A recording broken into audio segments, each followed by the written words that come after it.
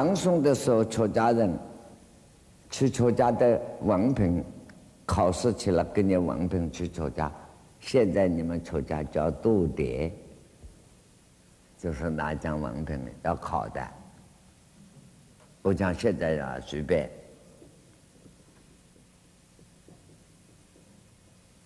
考取出家了，有这个身份，比现在的博士大了。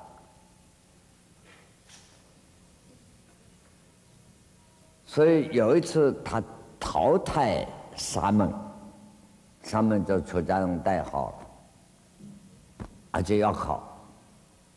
结果政府把有一个地方在湖北，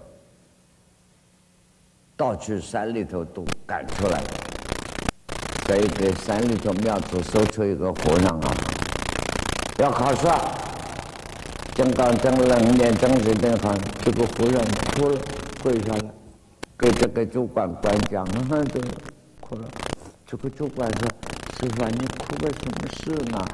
我也奉皇帝政府的命令要办，又不是对付你。”他说：“不是了，你不知道，我从小出家，学的是禅宗，是禅堂来打坐参禅，我没有念咒佛经了。”你要叫我考佛经，一定考不去的嘛！你要我考不去，你们的命令要还俗了，你不愿意还俗啊？啊，我愿意一辈子做和尚修福啊！哎，这个主考官啊，内行的，这面孔摆得很凶，跟我们那个养老婆一样，我为人一百下士人，那他心肠慈悲。他就跟他谈了几句，问一点佛法。哎，一看他真用功的，叫他写文字，一个都写不出来的。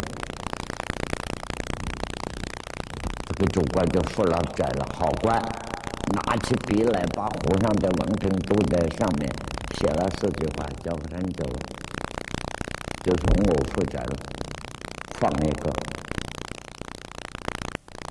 他说：“南中向许通方便呐。”南宗就是六禅宗，南方这个南，六祖这啊，在南方广东一带开始。他南宗向和尚的向，许可的许，通方便。何事心中更念真啊？何必心里头啊啊，心本来清净，还要加上一个。念个什么经啊？读个什么书啊？哎，这一下你们不要多说了。此去彼求应云水拜。啊，你现在走吧，我放你走，就通过了，还是跟你当和尚。云水拜，火山松柏不清净啊！快点吧，你到山里去修行去了，啊，不要给他们抓住就行了。那个山上啊，松树、柏树不青青啊，这是好了不起了。啊，然后政治、哲学、文学都排在一起，南中详叙通方便，何时心中更念真呢？何必加一样东西呢？此去必求云水伴，就放人了啊！你去吧，我负责。啊，你这个比丘云水伴，就到高山深一点地方去修行去吧。火山松柏不青青啊！好了，这个历史的故事啊，又讲到我们在厦门，大概是厦门福建的时候。有一次，福建的这位刺史，唐朝叫于右，不管名字了。这个历史你们不懂啊，这不是说你们不懂，这个话很抱歉，好的，傲慢啊，就是讲历史太麻烦了。就是一位当年的刺史，一路诸侯管湖北，人家说有个和尚啊。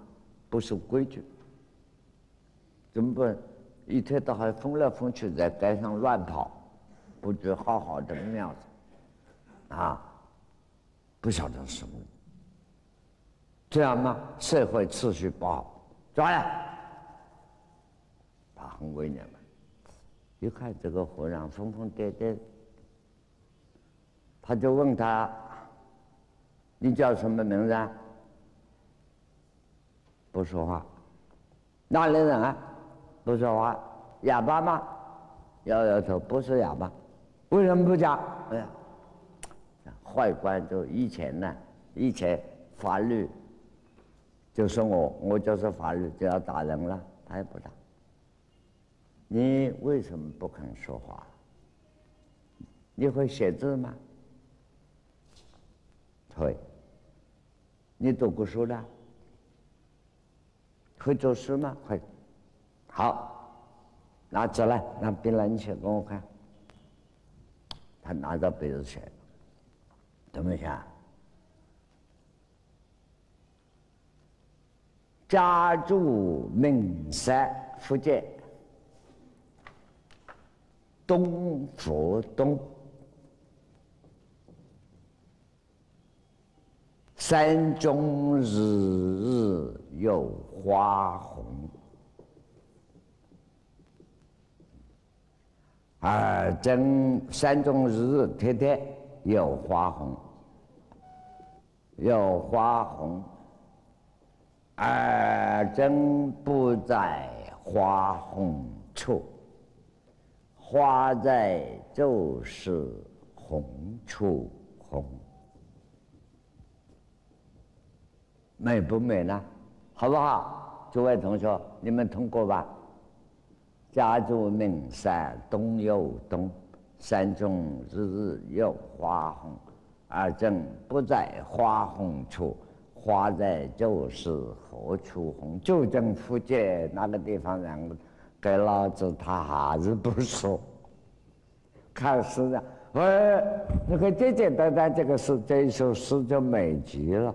这个宇宙一看就愣住了，哎呦，嘿，吃和尚，这个头光的不简单啊！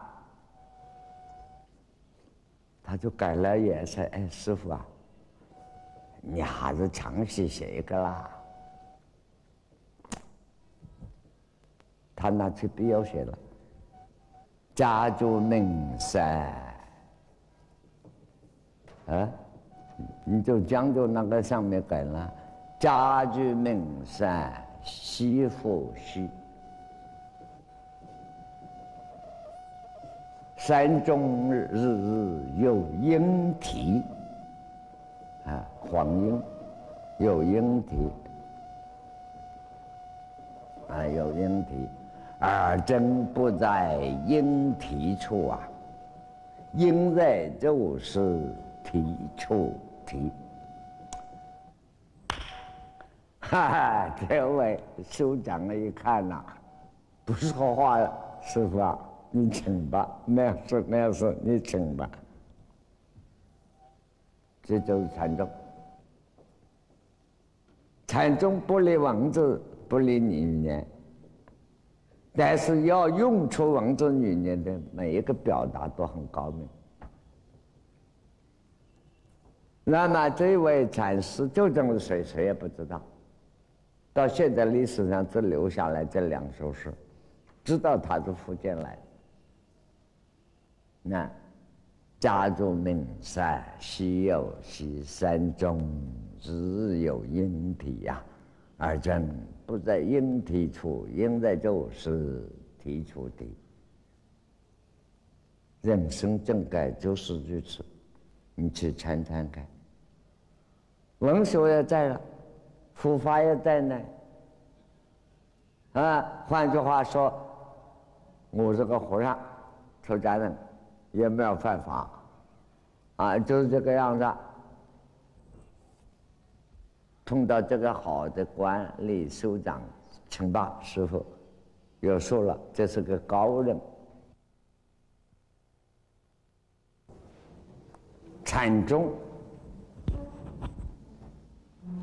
是所有佛法里的大智慧，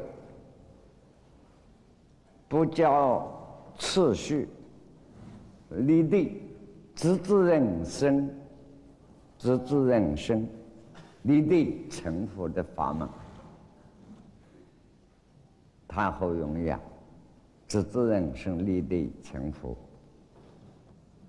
禅宗的一位祖师，这是宋代唐朝末年，宋代。五祖也禅师，不是六祖的师傅五祖，这个五祖是五祖庙，是黄梅湖北黄梅，五祖在黄梅，五祖过世了，徒弟们给他建的庙子，叫五祖庙。这个五祖也禅师就是这个庙子的方丈，禅宗的大德。他的一生的说法，活泼泼的，灵活的很，了不起一位，在中国文化史上，他是了不起一个人物。当然是和尚了。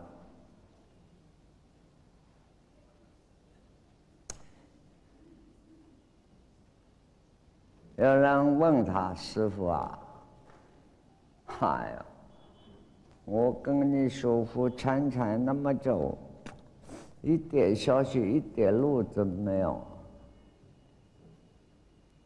师傅啊，佛法总有一条切路嘛，快速公路，你告诉我一个方法。哈哈，还好。他说：“我跟你讲个故事给你听啊。有个小偷，本事非常大，是名偷了，有名的小偷。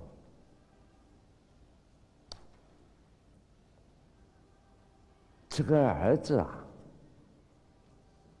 想跟爸爸学这个本事。”小偷的儿子，他爸爸，你把这一套本事传给我好了。自己尽管做小偷，不喜欢自己儿子也做小偷了。那你说这个干什么？不要，说儿子一定要说，哎，他也没办法。好了，传给你。晚上跟哦，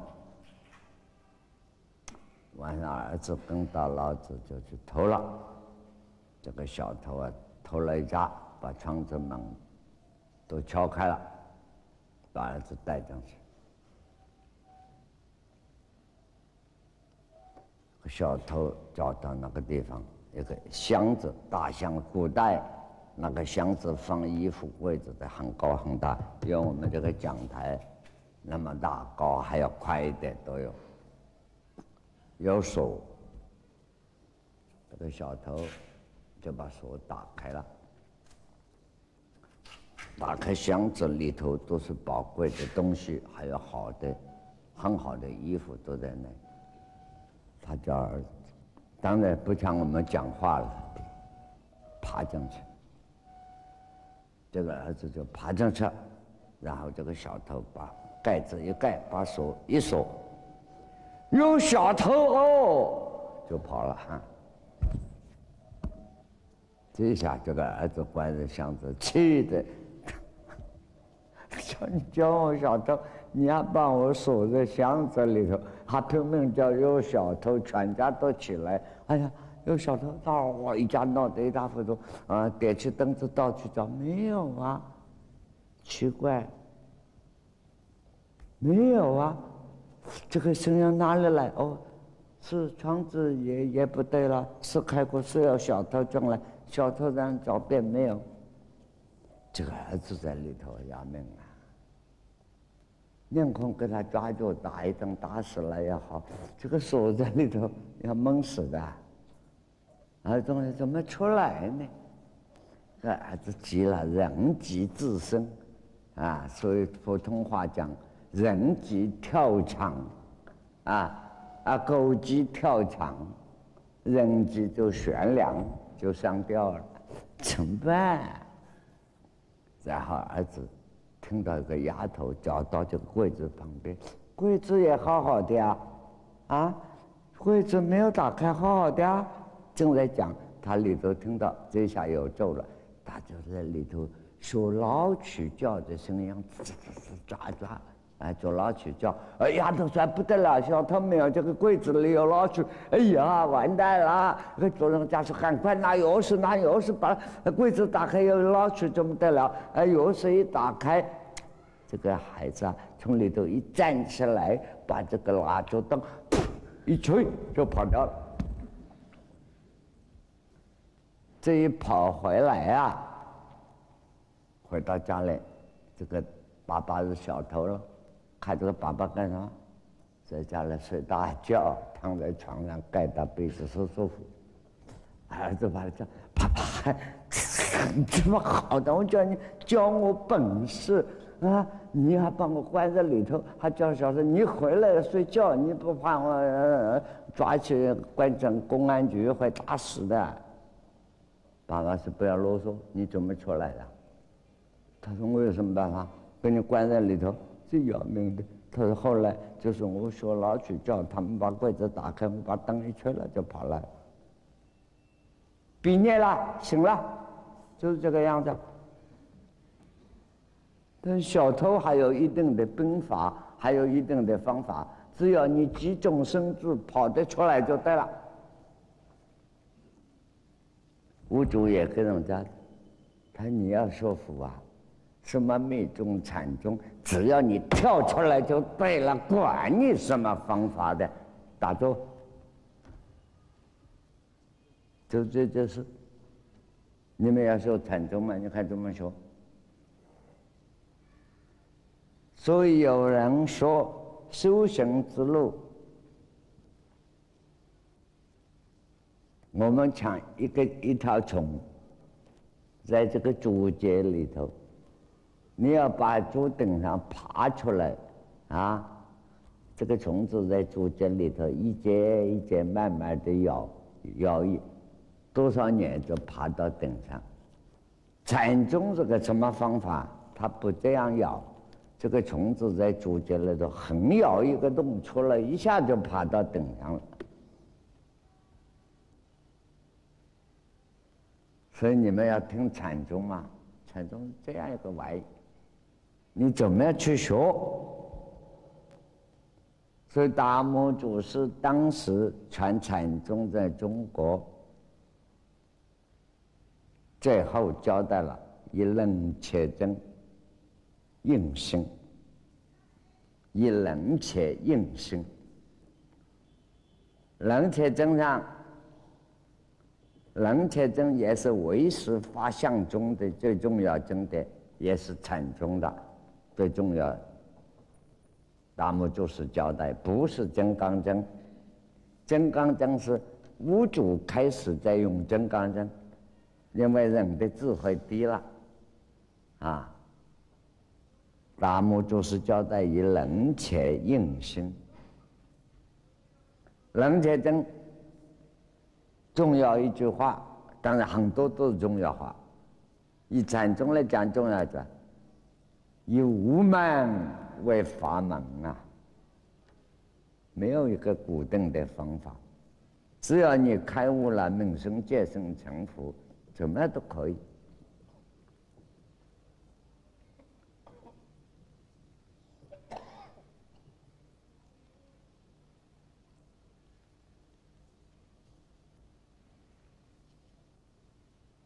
是解脱嘛？心空解脱了，哪有方法的？有个方法就不能解脱了。啊，以无门为法门。好，我们好好做一趟啊！我再来供养诸位，再讲给你听。不是光听笑话的，我也蛮辛苦的。啊，为什么讲这些给你们听啊？希望你们。在几天以内，智慧增长，自己真能够跳出来这个牢笼。说好抬着上座。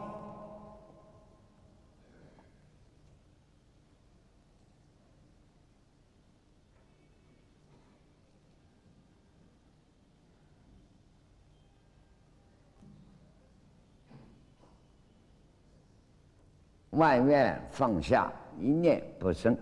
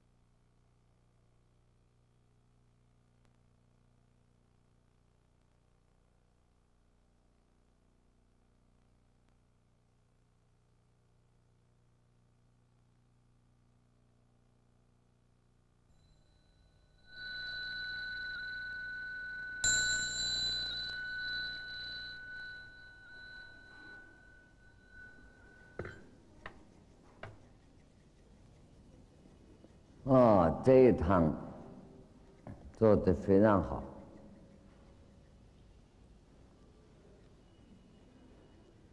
真是有一点想上路。这个老和尚的阅历，禅堂里接起来，今后大家。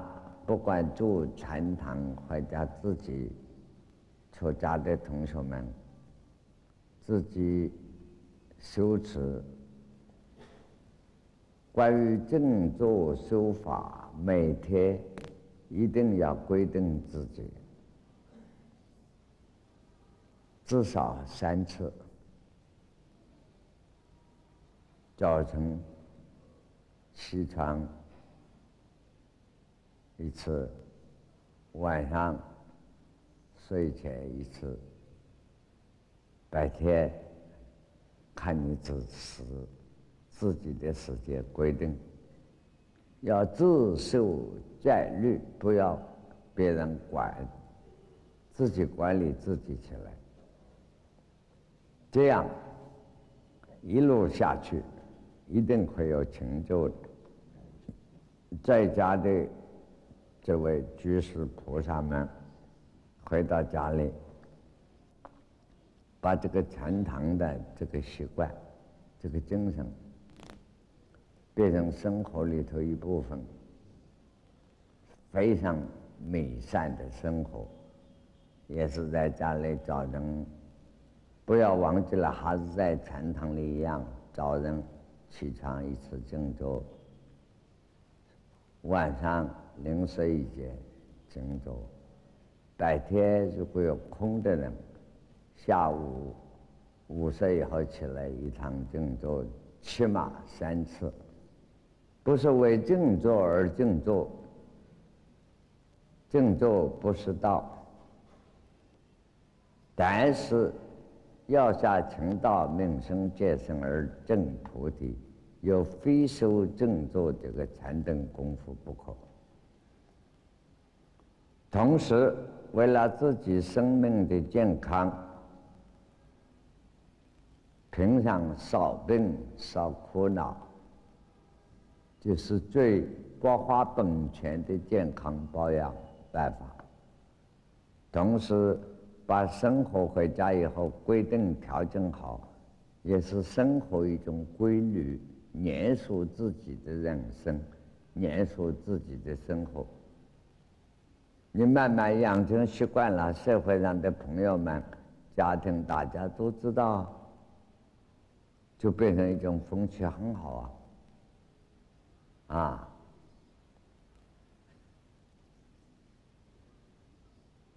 至于静坐，真正的用功想得到定的正感，我已经再三强调，从。阿耨波罗入手，出入息。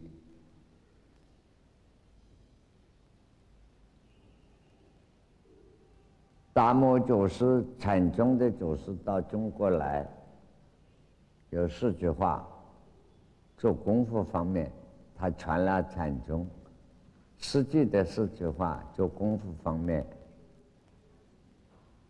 大家一般不注意它。外息居远，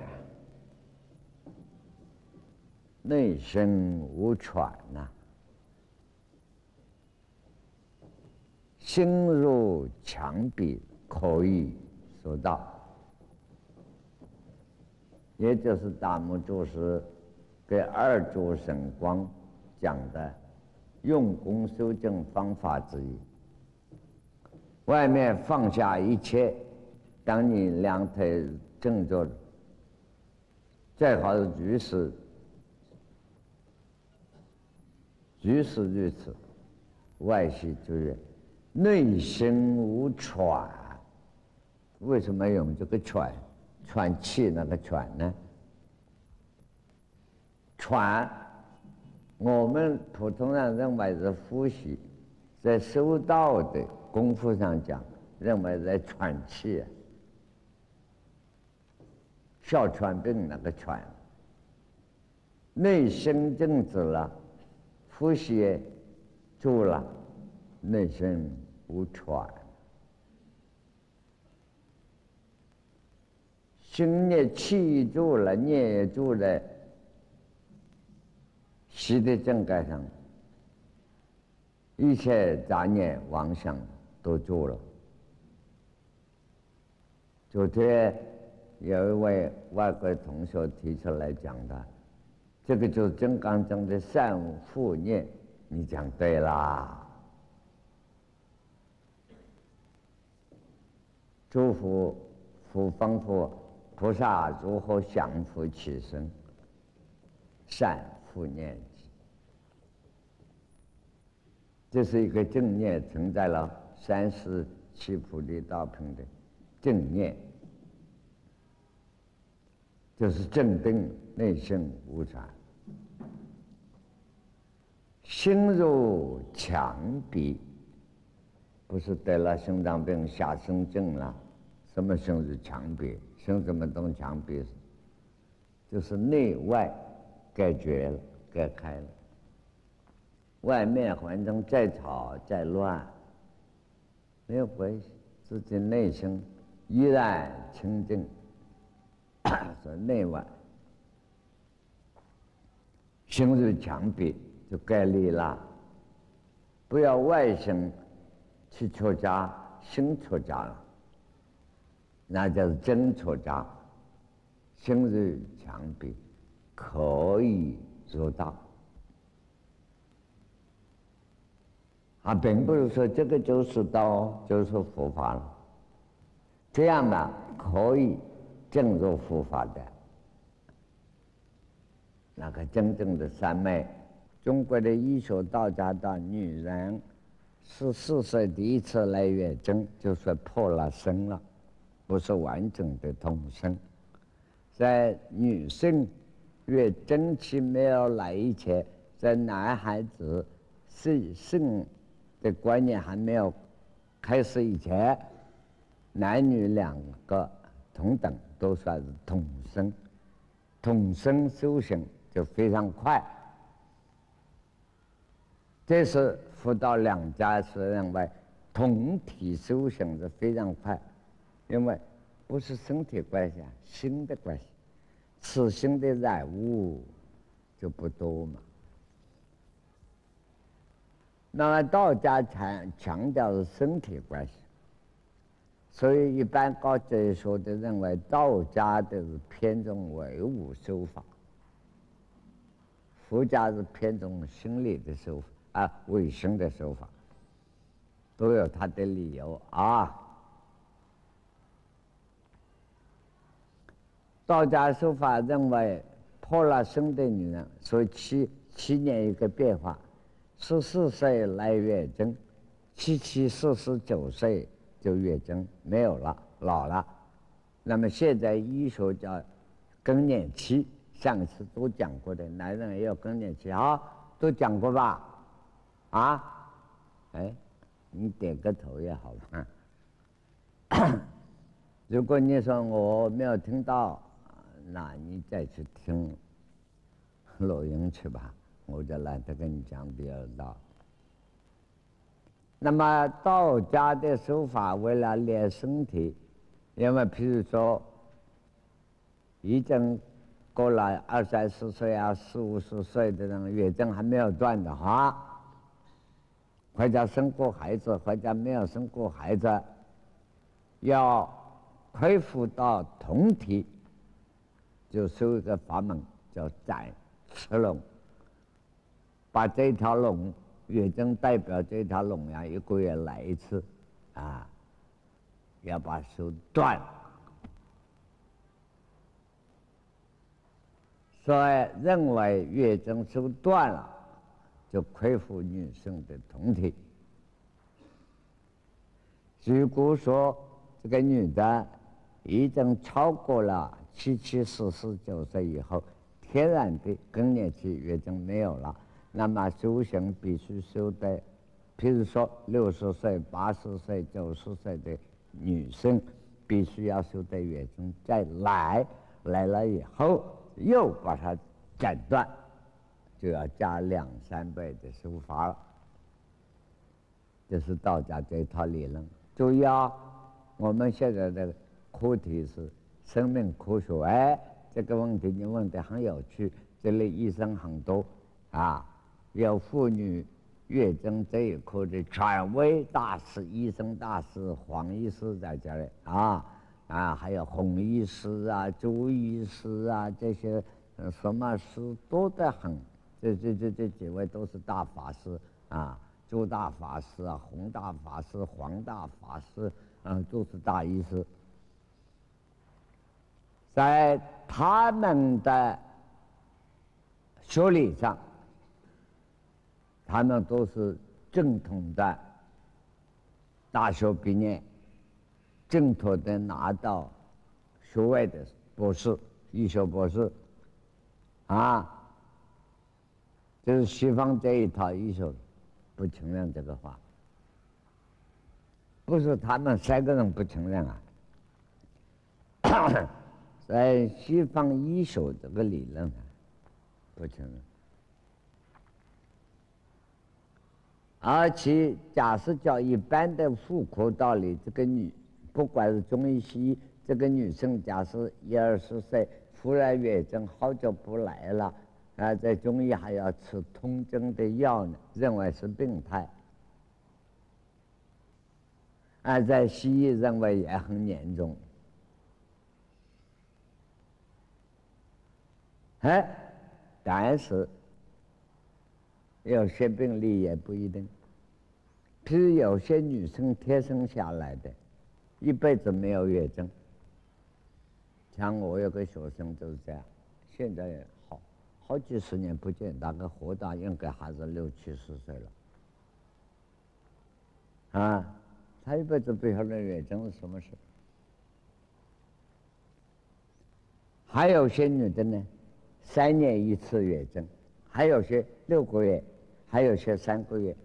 这一类的女生，在中国的说话叫做观音生，就是前生有修行的，或者是和尚女过来投胎的，哈，所以叫观音生。身体的生，那真是命好。一个女的没有这个一个月麻烦一次，这个没有，那真是观音菩萨观音生，啊。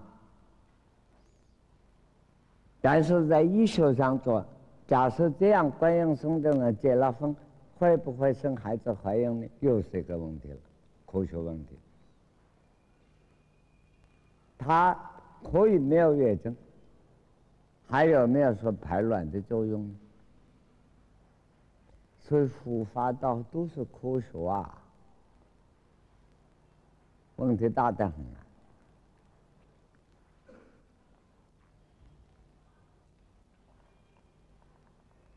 哎，不能再讲了，讲下去好像在医学院跟你们讨论上课一样。讲到这里，答复你这个问题，说女生一定要先斩雌龙，再跟男生同等的说法，道家一派的说法。啊，那道家的忌讳多了，女生月经来了还不能打坐了。打坐要出毛病的，都靠不住的，啊，没有这回事，啊，当然，你假设叫道家的手法有违法来收，那月经来上不应该打坐，你那套有违法要收，如果学佛空嘛，一切该空，万念都不动了，那月经来不打坐没有关系。怎么样是一念回机？这是大木祖师的话。一念回机，别通本德。下面还有一句八个字，两句要连起来。那么在文字上先告诉你，回击，击的就是机关嘛，就是开关嘛。对不对？譬如我们开电灯，那个电灯的按钮在那里，那个指头一按，它就亮了嘛，就是开了嘛。一念回机，就把这个机关一按，电就回去了，就不亮了嘛。这个比方，回机就开这个机关。一念回机，你这个念头一起来。就把它关闭，回到原来不起念的地方，当然是别动本的就对了。你现在能不能做到一念回机呢？一念回机就是这样，念头还没有起来，不是压下去哦，念头一来就空掉了，回到本来空的地方嘛。假定你能够到达这样，是真的是这样。我不敢断定你，我没有看到你这个人，也没有看到你的手持啊。假定你真的这样，你下面问，在平常生活中怎么应用呢？那你就应用更大了。一念回去回到你那个本空的正盖，是心如明镜台呀。啊，再高一点是心。明正也非台，本来无一物，何处惹尘埃？你就千军万马当中都可以去了，你就是布施众生，做任何事一点都跟你粘不住嘛，因为你一念会本空嘛。日常生活中，活泼泼的、天真的、干净的，不受一切污染。嘿，就怕你做不到，你做到了，你还先跟我请问菩萨，我都答复你是菩萨 哈，真的哦，菩萨，这样第一个答复你。第二句你问心不他持的时候是怎么样？心都不向外面，他持两个字，不向他就是代表外面，此心都不外跑，不乱跑了。你说怎么样？你还问我心不他持是如何？你问我这个心不外跑的正该怎么样啊？还是问我的心？你问的人说我的心已经不外跑了，怎么样呢？对不对？你问的逻辑没有直接清楚嘛？对不对？如果我用禅宗的打法，你说心不踏实是如何啊？好，心不踏实是如何？我要叫禅宗打法。如果你在我前面，叫古代的禅宗，你站在我前面喝了一个掌，请问？心不踏实是如何？我是禅宗大师的话，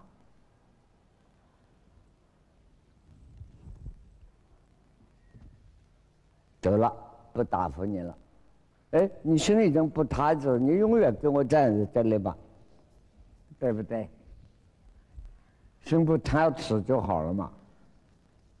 只要不是红尘，不是挑主。那还有个如何啊？还有一个禅宗，还可以一个打法方式。你问我心不踏实如何？我瞪着眼睛看了你半天，两个手一指，心不踏实，就完了吗？这就是禅。现在不跟你谈这一套，你心不踏实如何？这个问题你们要写清楚问。不过你下面有起心即乖，不起身如何做事啊？动念即错，起身即乖，就是讲修定时候的境界，还要看修哪一种定，用到这两句话啊，所以叫起身动念即乖。就不对了。如果你要做事啊，哪有不起身的？当然起身。那么你就参考，我告诉你，你参考永嘉大师《禅宗集》里头后面的两篇重要，《色摩他颂》跟《毗波沙那颂》，色摩他就是观。就是三摩地了，古代发生什么，它就是什么的。古代音每个时代音不同。毗婆沙那就是观，永嘉大师禅宗集，哎，他讲做功夫修止观，就是不是普通一般的，就禅宗大菩萨的路线。你问的很好，起身就乖，不起身怎么做事啊？我告诉你，你去看啊！我引用永嘉大师四句话，这个你们大家用得到哦。尤其你们这些大居士，这里哪位大学校长呢？那个海德大学校长，诸位诸位大教授都在这里啊！你们很多做事的都用得到，恰恰用心事。我们国语念恰恰了。广东话跟我们温州话咔咔，啊，咔咔用声势，恰恰用声势，恰恰无声用，无声恰恰用，常用恰恰无，那高明到极点呀！啊，恰恰用声势。哎，永嘉大师，因为他太高明，我就拍马屁。哎，我们的同乡哎，同乡请回来又怎么样？啊，恰恰用生是恰恰无声用，无声恰恰用，常用就恰恰五。恰恰广东话，哎，这里有广东同学，啊啊，对不对？啊哎，广东同学点个头啊，是不是？啊啊啊啊啊！刚刚了，才擦走，恰好，恰到好就刚刚刚好了。北方话没有啊？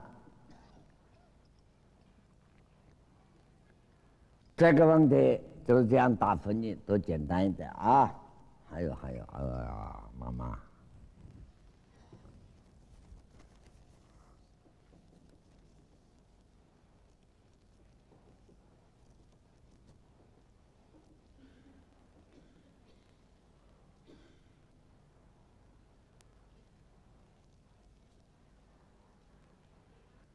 哦，有一位同学说，我们讲的无梦无相是他的答案，其主人公何在？他认为第一个无梦无想的时候，那个清净，那清净一点，圆满一点，两点了，不生不灭三点，不垢不净四点，判片脉虚空发展的本体自身，就一个客户主人公是无处不在的，真的啊。好，如果这样，你整天晚上睡着了，我拿个香摆在这里，拼命的打，看你醒不醒来，痛不痛？因为你的主人公无所不在，一定在这里嘛，对不对？啊，你不要睡着，你睡着了，我拿把刀子，我也算不能把你头砍掉了。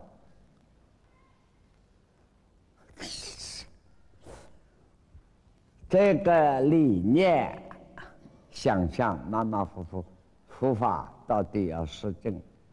你这个理念那么讲，马马虎虎。你大概是辅仁大学毕业的吧？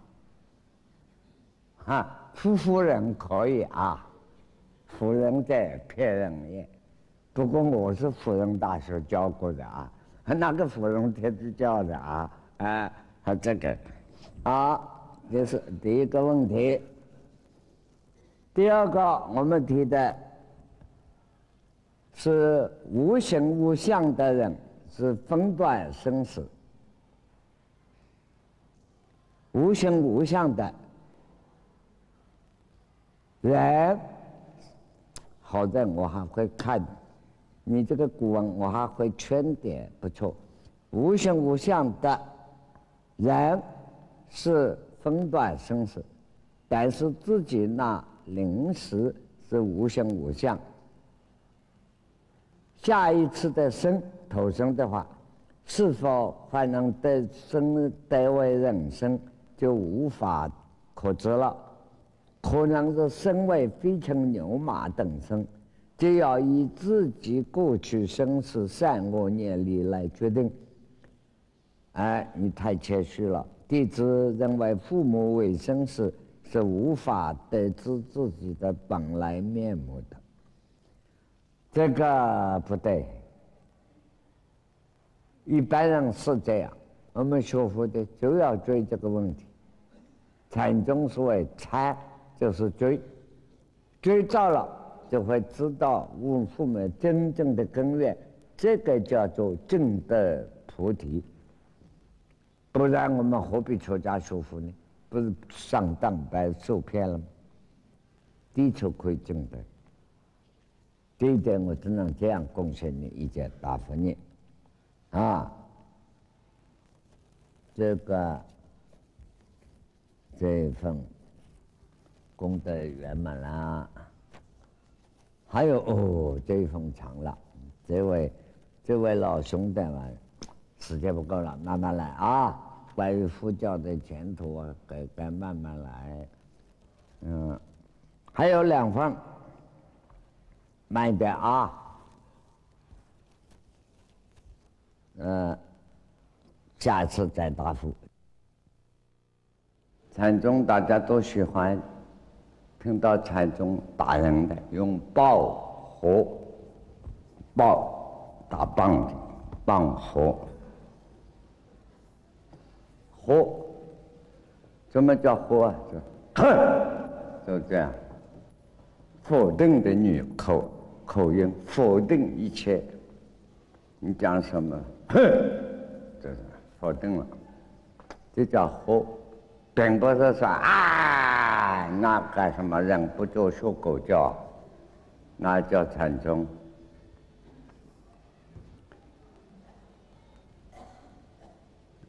中国的佛法，佛法到了中国，变了中国文化，作风都不同，不像释迦牟尼佛那个慈慈悲悲的啊，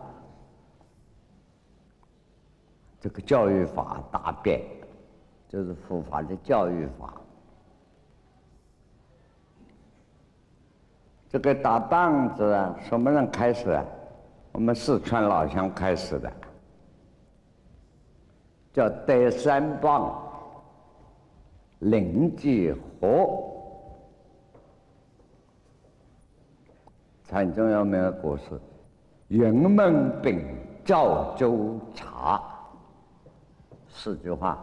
这四位大禅师的教育方法作风各有不同。德山棒。临济河、云门饼、赵州茶，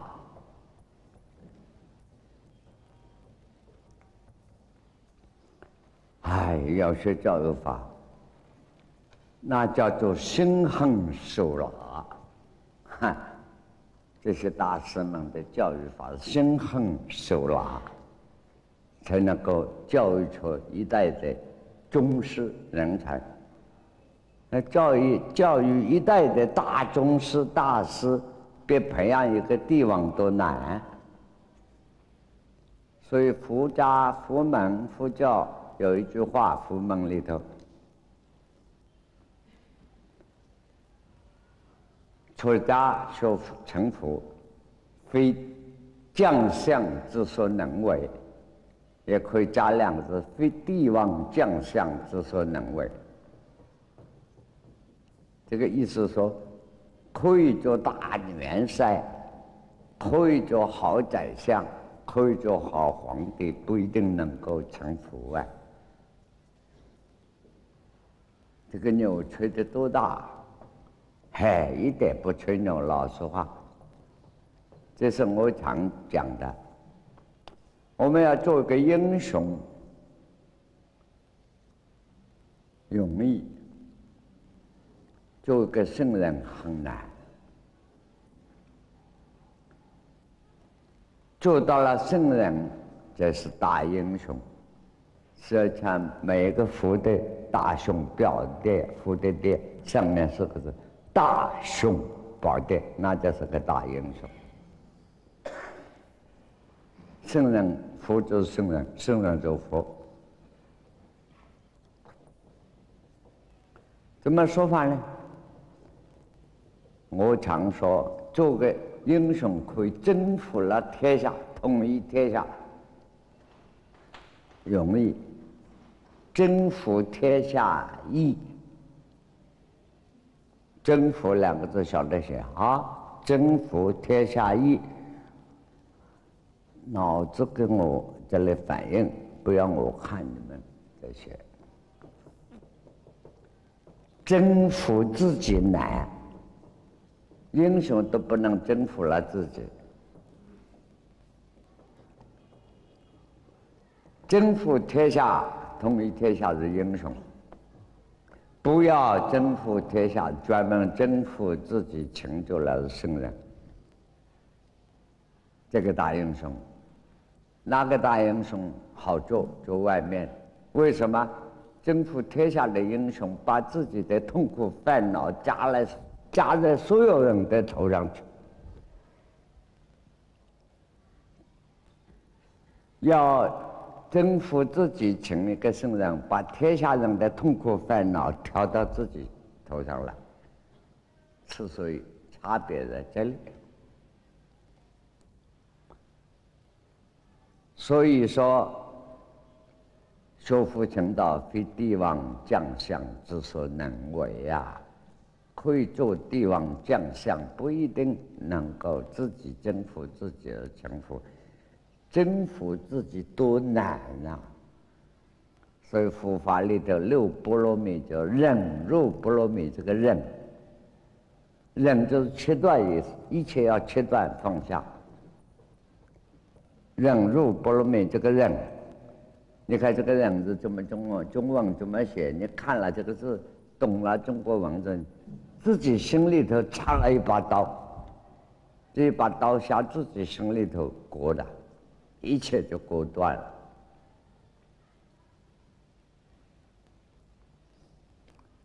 所以禅宗大师们造就了一个佛，一个圣人，他的教育法真是心狠手辣。尤其禅宗，佛法到了中国产生这个禅宗。刚才讲到德山棒，为什么创下了用棒打人，现在用香拜打人这个记录呢？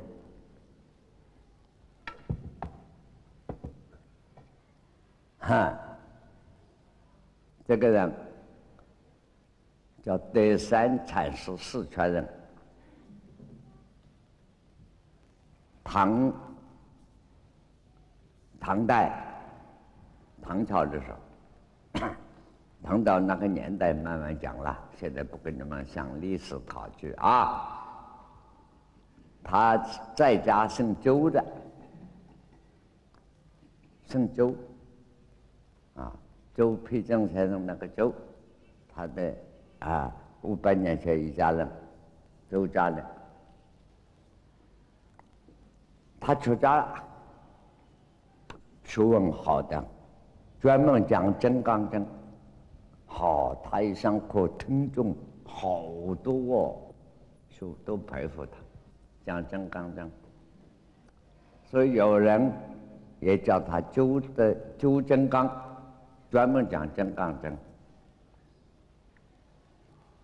佛法学问好极了。后来呀，他的名气大得很啊，学术、宗教，拿现代话来讲，宗教学术、宗教哲学的成就高得很，名气很大。可是有人告诉他，南方下江四川人。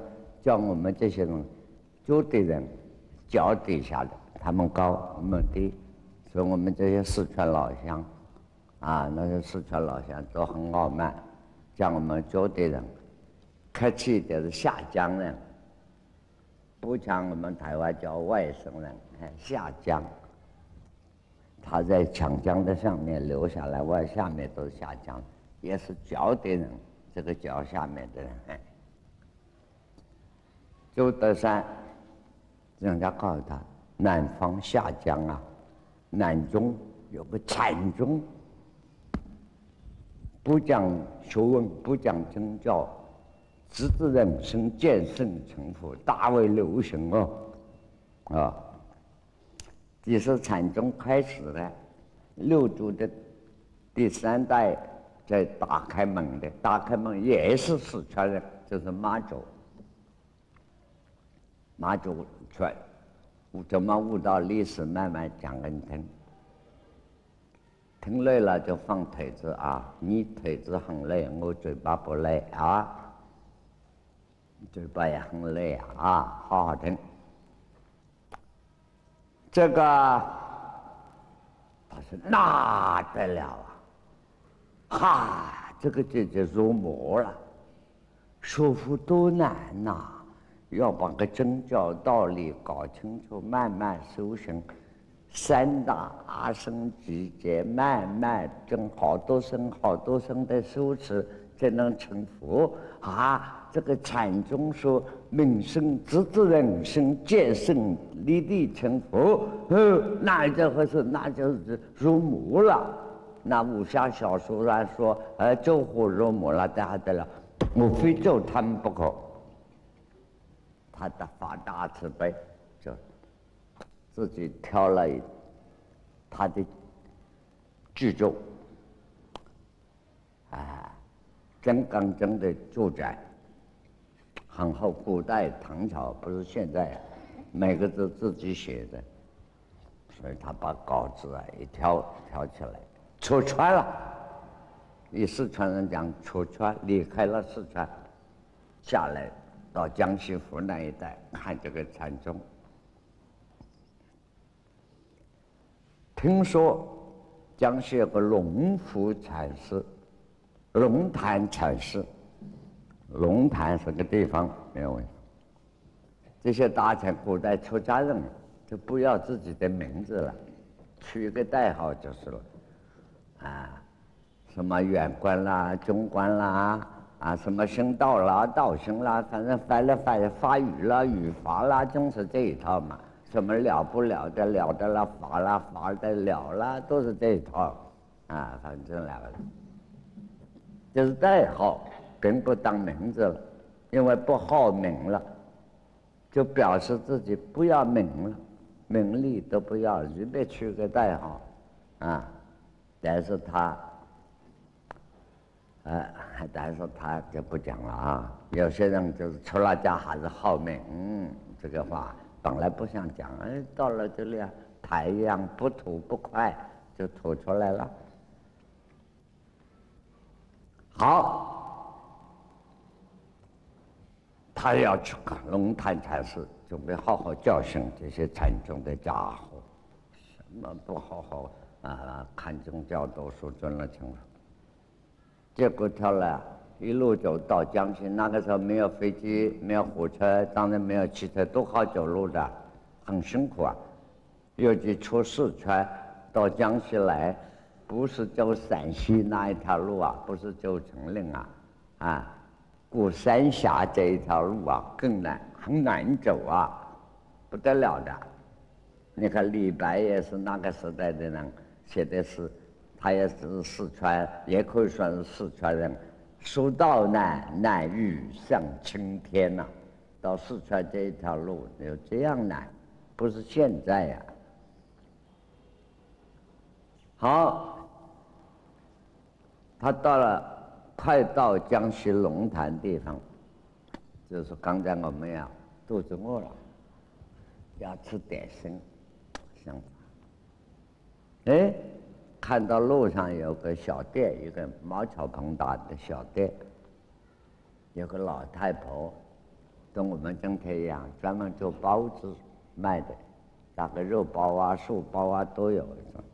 这个老太太不打眼，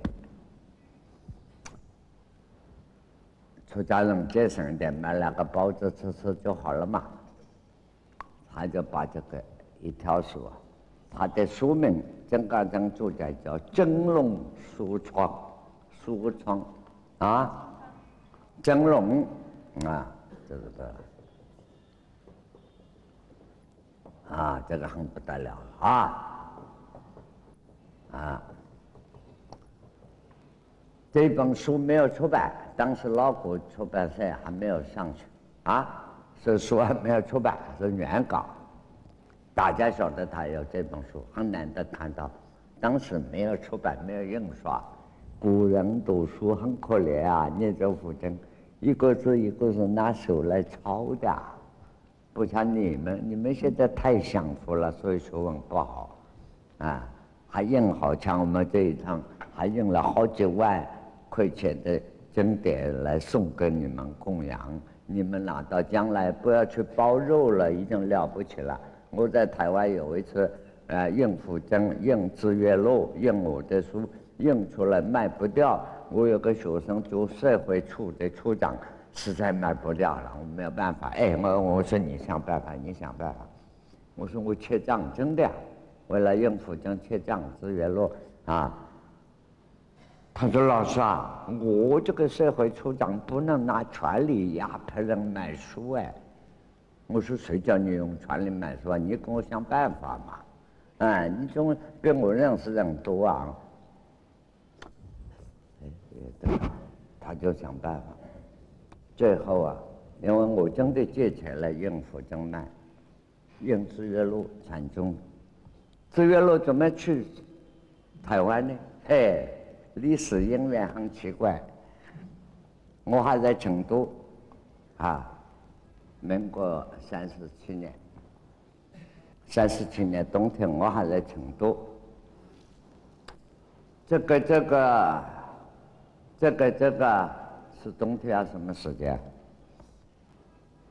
这个我有个朋友啊，黄埔四期啊六期，我记得叫刘月光，他专门看管江学良的，有。上校看起，看到了官到了，中将在死在台湾。哈，我说你一辈子做官，我就想做你那个样子。什么都不要劳动，看一个人就看到中将。我说你真好，现在过世了哈。我们常说笑话。那个时候啊，他把张学良、张老头子的命令下来，已经移到了台湾。张学良移到都是他带一排宪兵，几十年都是那么看过，就是刘伟光。这个历史秘密你们都不知道，哎，现在不要去宣传啊，都过去了。江江先生还在，不好意思了啊。那不要乱乱讲，到这里不能不讲啊。这个刘伟光先生写封信给我，寄到成都，他说啊，赶快买一部《知月录》，寄回台湾来，跟我在台湾生读，因为江学良先生也要修禅。那么刘玉光呢，也说禅，啊，也拜我们的老师袁老师的，所以说我们等于同学，又是好朋友。你赶快买一套，寄过来。我接到他的信呢，当然买了，在成都文殊院有个印证处，那个老的古本的，啊，木刻的。我就买了一套，包好航空寄到台湾。这个刘玉光给江学良。等到我到了台湾以后呢，台湾是那个时候跟香港，香港我现在批评它的文化沙漠，台湾我出道的时候也是个文化沙漠。这一切什么佛啊、道啊这些文化都是我一个人在这那闹起的，才有今天。文化跟跟台湾，比大陆比各地都好啊，嘿嘿，不晓得我有功劳还有疲劳，反正是做了很多。这个这一下我一看，哎，产出一本书了，只有我有一套，哎，张学良那里有一套《资源录》，我刘一光常常跟我碰面，哎，我说哪个？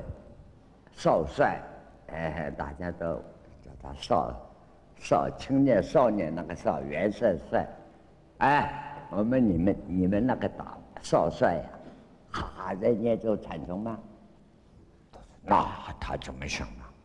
他现在不念咒禅了，所以刘张学良这几十年，要什么书买什么书，要看什么买什么。要请那个教授来讲什么给他听，老头子哦，经费花的不少啊，非常舒服啊。我说，哎呀，最好我给他换一换，我你这样一辈子闭关，要什么有什么，多舒服啊，真是享福一辈子啊。他，我说那好了，哎呀，我讲你把那套资源录拿回来给我。我说我花了钱给你寄来，呃，成本都没有拿来，还留下光，哎，这个当然当，我就拿了拿了。所以那一套这上面还有呃写的呃刘月光啊那，我拿来就把它翻白印了，像弘扬佛法禅宗，资月录谁也看不懂，禅宗卖也卖不掉，我也背了账，那个时候又穷。还不掉，所以我只好教这个学生做社会处长，你去想办法。陈老师啊，这个就就让我们跟你学的看懂看看，怎么卖啊？我说我管你怎么卖啊？哎，不能用权力压人啊！我说怎么可以啊？你就想办法这样。他最后搞了几个月，总算卖了，送一堆钱给我还账。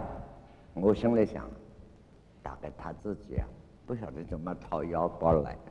反正我也不敢问，一问了问穿了，自己脸红了，啊，怎么办呢？啊，总说我把账还了，我就管他了，嫁祸于人，哎，这一下做英雄了，把自己的痛苦放在人家身上去。好，后来先讲这一段，过了两三年，因为我的讲学啊。讲佛啊，讲禅宗，哇，禅宗大为流行了，大家买资源路买不到，哎呀，我就把我那个学生找来，叫念供养，江西人。哎，我说供养，当年还有五十部《资月录》，我穷的时候啊还不来讲，叫你拿去卖的，现在一定卖不完，你赶快拿来，现在大家需要的很。他老说一本都没有。我说你到哪里去了？怎么卖掉了？他说我没有办法，你叫我，最后啊，我跟。卖猪肉、卖牛肉，屠宰工会那个会长杀猪杀牛的，给他那个商量，你们这有钱，拜托拜托，买点书去。啊，杀猪工会说我们也各自也不认识，看什么书啊？啊，这个这个这个啊啊，处长，你叫我们买书干什么？我们他说啊。我有个老师啊，印了书卖不掉，很穷啊！我也没有钱，我师生两个没有钱。你们屠宰工会有很多经费，就拨一部分买一点书，做一点好事。啊，处长那么讲究买嘛，就五十部，就杀猪杀肉的、杀牛的那个屠宰工会买出来。啊，我是这样啊！哎呀，我说真好，那个屠宰工会呀。哎呀，杀生那么多，买了福书有功德了。现在他也不看，你去拿回来。好好，我去拿回来。过来就搞了，我一本都没有。我说到哪里去啊？啊，就气死了啊！他讲问他们书呢，怎么封掉的？他说包猪肉、包牛肉包完了。真实的故事哦。那父我的干的事情妙不妙？哈，他把父亲印出给人家包猪肉、包牛肉，五十本资源肉包完了，一本都找不到。啊，这都是真的。啊，我是很有意思啊。现在回转来，这个资源肉讲到周德山啊，周正刚。到了宿舍了，这个青龙书照调来，看到这个老太婆肚子饿了，要吃点心了。啊，把书袋子一放，哎，老太太，老板，我要吃点点心。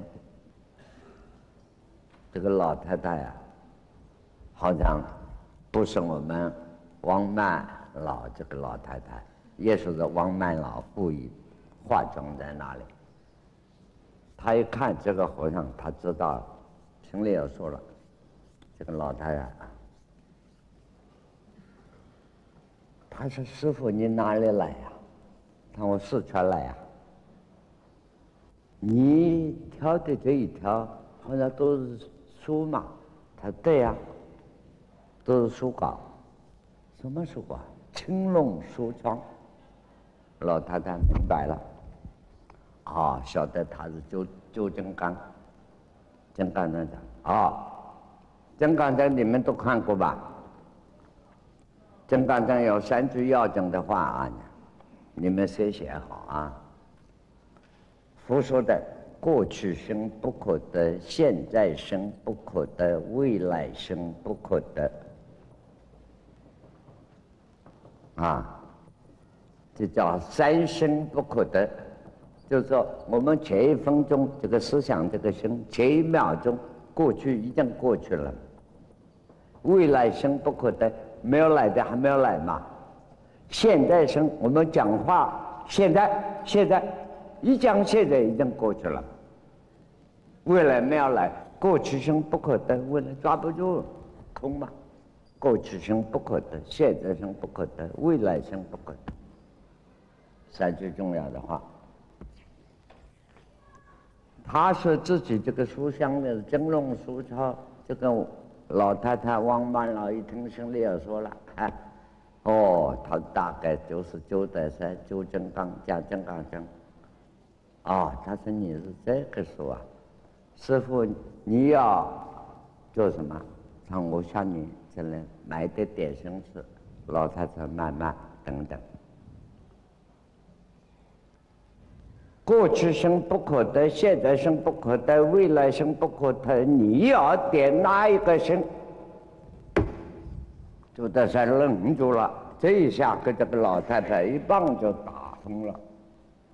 哎，你讲这个讲嘛？过去生不可得，现在生不可得。为了你要吃点心，点哪一个心啊？哈哈，这一棒就给他打红了。他说：“咦，江西可禅宗，这是一个还不出家的一个老太太买点心的，都开口都是佛法最高的，最简单就讲，把他问愣住了，他答不出来了，心里已经打鼓了。后来他到了龙潭。和尚的规矩，一到庙上挂单，先跪下来了到开堂，开到挂拜佛。他在拜佛的时候啊，就讲了：“走向龙潭呐，耳朵里的龙潭才是名气太大了。很久啊，降目这个影响我听到龙潭。”走向龙潭啊，真到龙潭啊，龙也不见，潭也不现，这个很厉害啊！啊，翻成白话的了，周九是仰慕大名龙潭禅师。我现在到了龙潭地方，龙也没有看见一条，潭也没有看见一个潭。潭水，换句话，眼睛里没有人。老和尚这个大师啊，龙潭大师也没有见到，就这样子。哎，这个龙潭大师站在他旁边，他不认识，以貌取人，说啊，他依法不依人，他依人取人了。龙潭大师说：“哈，如此真的吗？真的是这样吗？”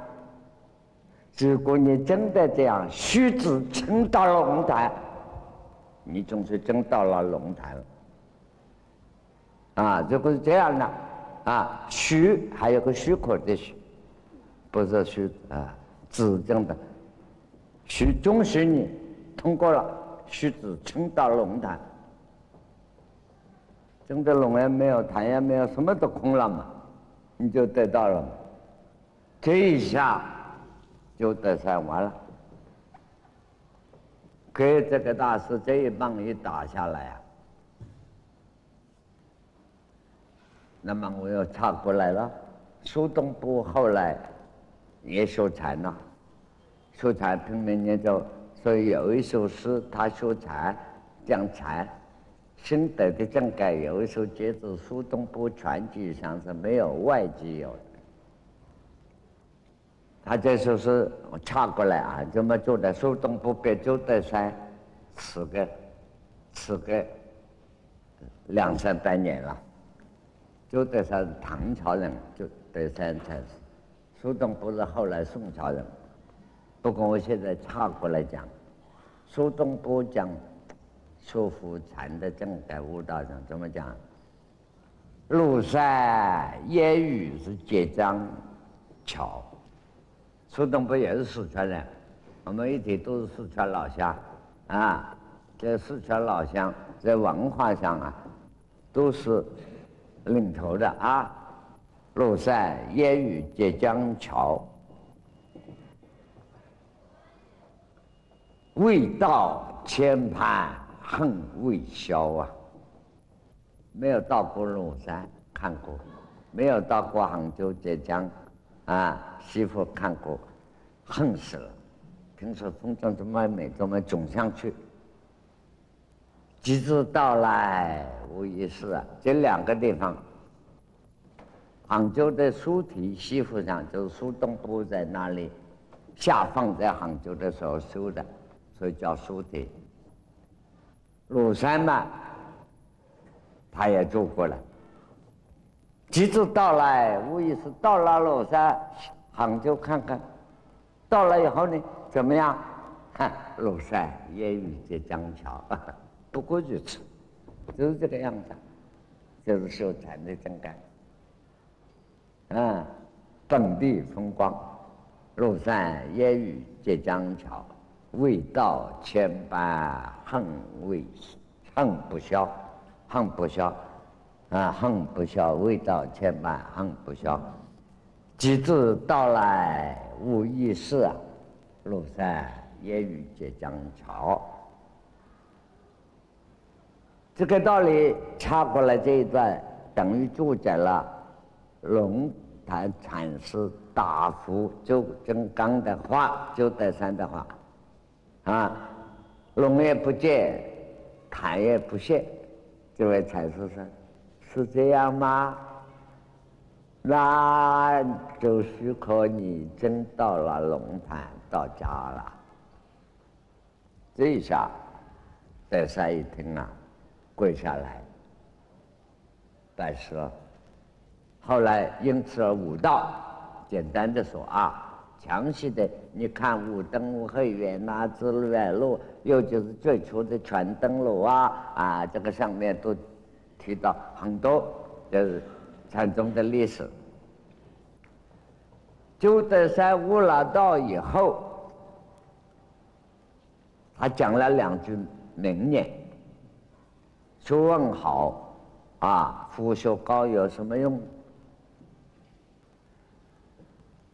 重聚玄变呀，书一好自于太虚。”你们说就说我了，要说佛读书，重要的地方、要点的句子，你看我不要你们背记的，我要靠脑子、靠心里头记的。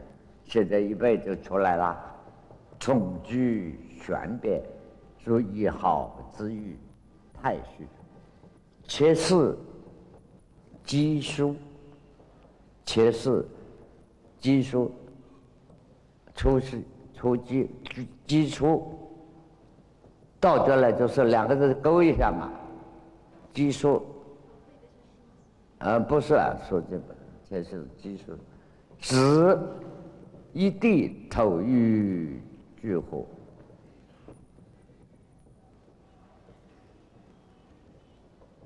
你看他的书文多好，出口成章。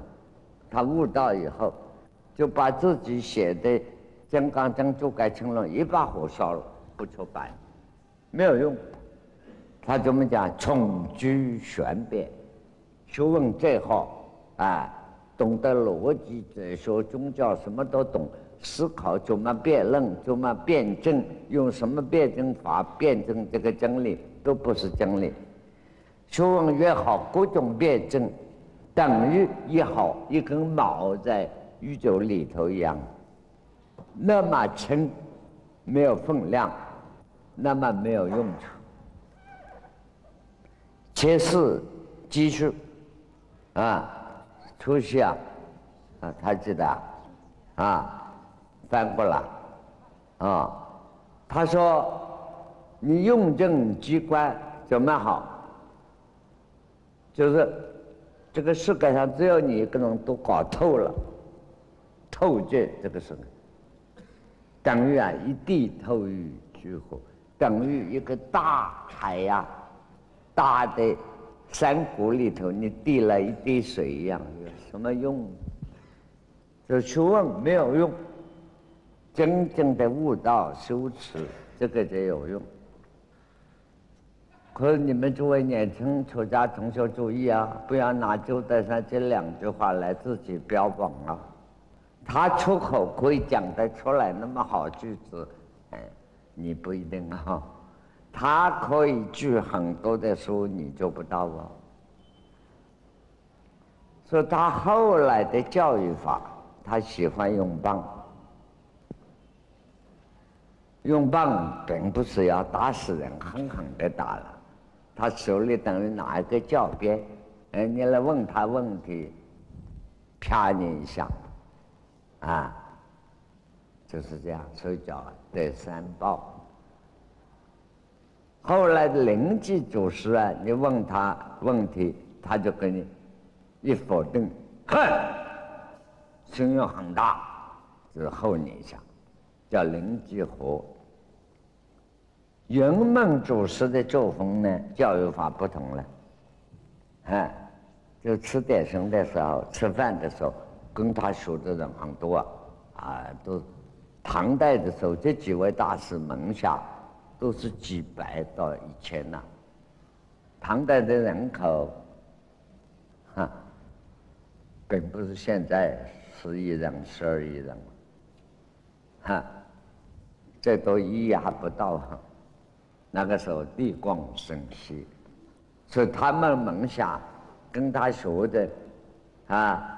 几百七八人是很大一个场面啊！每一次在吃饭的时候，人们都抓去那个喜欢吃饼，薄饼拿去，大家吃饭的时候，他问这个是什么？大家听你们呀，一声不响，一个都没有答。这个是什么？人们饼。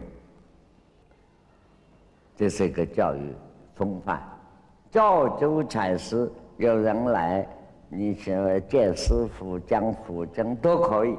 真正问到禅佛法的修持，是吧？真正的佛法传的跟我好不好？请喝茶。讲完了，你不懂政治了。他，佛法就在喝茶那个地方，啊，所以刚才吃了点心，我也请问一下，你那个心馒头点到哪个心去啊？哈，吃下去点哪个心去了？还是过去心啊、未来心啊、现在心？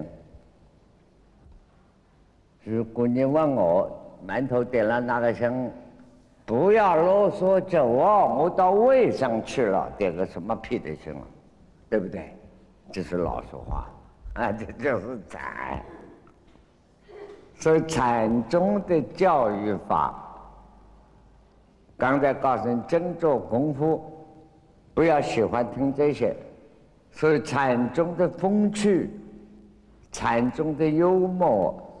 禅宗的文学，禅宗的辩论，禅宗的哲学，禅宗的科学，还要有你写博士论文，可以写一两百个题目，做博士论文的题目多的是，真的不相干。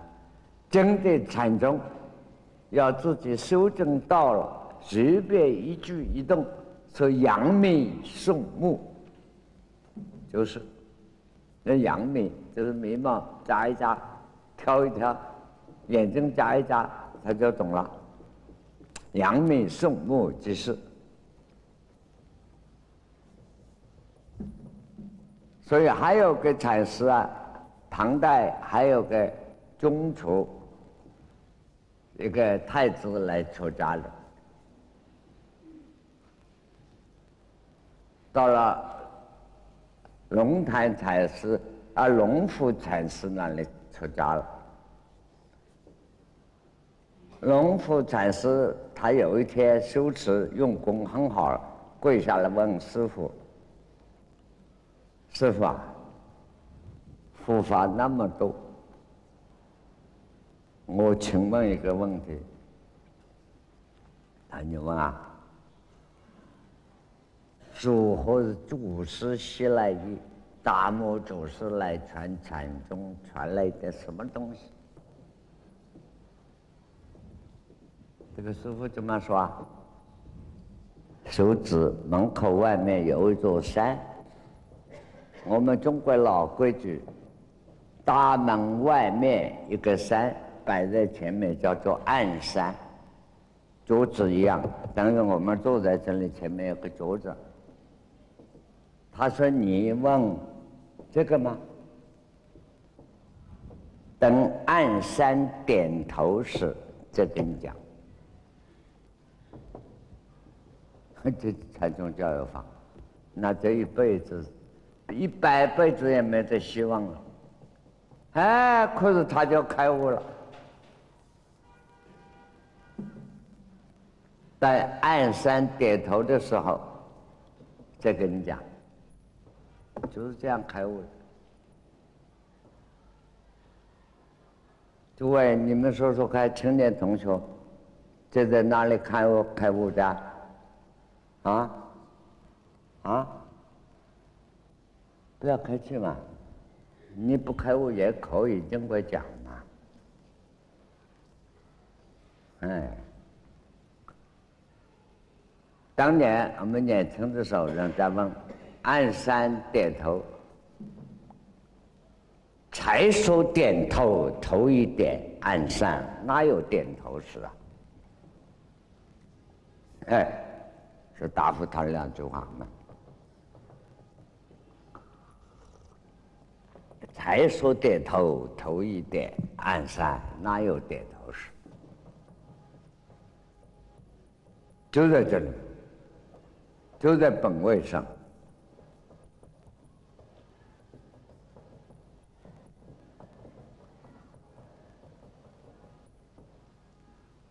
我们现在点心也吃了，故事也听了，今天是第二天、第三天。很轻松啊，这个不是打气，要打气你们两个腿受不了，不是这样很轻松。今天你看，哈，快啦，哈，池中日有花红，下周座位摆好周几圈，啊，又是一个星来了，又要吃点心啦，行不行？才说点头，头一点呐，按山哪有点头时？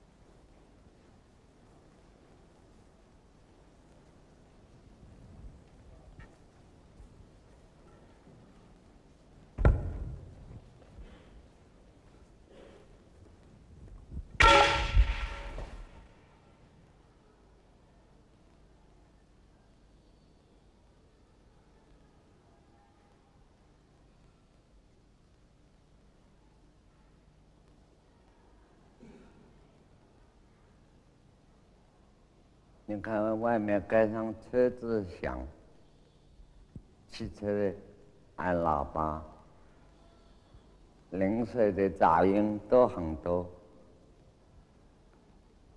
当你一在什么都不管的时候，这个外境同你了不相干，你耳根圆明非常清净。不要另外去找一个清净啦，然后即使在一行居坐卧，任何一处、任何一点上，永远保持此心的安详、清明。嗨，三年五年没有不成功、不成道的。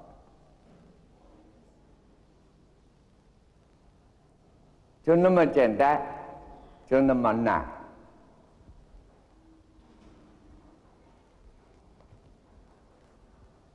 所以孔子也说，孔子传道给曾子、曾生，曾子是最诚恳的学生。现在那些人乱用他的名字。有一天，孔子站在那里，看到曾生走过来，曾子大概就是我们这样形象啊，规规矩矩、目不斜视、端端正过来。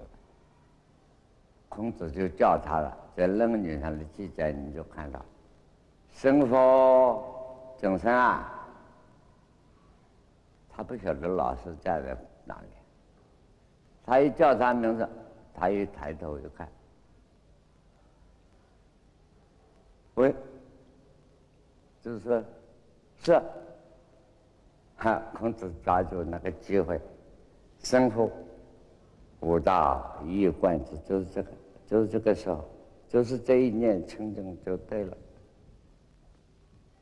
所以叫一贯之，就是这个，一贯之。就是这个一路下去就对了，就是这个样子，一路下去就对了，所以叫做一贯之。现在乱来了，变成一贯道了，哼，就是孔子传讲上无道一贯之。君子曰：“怎么讲？喂，是知道了，懂了，等君子悟道了。喂，是。”下面两句怎么说？君子错。老师当时抓住机会传给他，指点他，就是这个“无道一怪子”。君子曰：“曾子说，答复了。喂，是了，我懂了。”曾子出，回头他出门了，离开这个禅堂一样。门人问其他同学跑来，哎。你刚才老师对你那个态度不同哎，好像传了你密宗了啊？盲人问：“究竟传了你什么？”君子曰：“君子只好对这一批同学啊，变成没有吃饱了，哈哈，晓得他不能懂，就变来的话，夫子之道，忠恕而已。”老师没有别的，避免告诉我啊，好好去做人啊，好好去做事。忠，后世以为是忠于帝王、忠于领袖、忠于别人、忠于长官、忠于太太、忠于丈夫。在个人而忠，把“忠”字中国字解释错了。忠，你看中央的“中”下面一个“心”，两心摆在中间。对一件任何一件事情没有不正心、没有不正利的，这个为之忠。因为忠臣孝子非要杀了头才被忠臣，那就是狗屁的中国文化。当然会杀头，为了真理，前面自己生命都不管，就忠于即事，所以为之忠。做人恕。嗨，女孩子的心情一样，跟女孩子啊，心肠软的。嗨，哎，本来生气的很，这个哎呀，小姐你很漂亮，妈妈你不要生气，是吗？是吗？是吗？算了算了算了。推己及人，替人自己想，替人家想。你看那个数字呢？女人下面一个生，我们讲骂人的，你这个妇人女子之仁，我说你不要乱骂了。妇人女子之仁，那就是慈悲心的开始啊！啊，你没有妇人女子之仁这一点，你还做不到呢。所以那个数字是对不对？就是女人下面的胸胸腔软一点，不像我们这些男人死硬的胸腔。上座。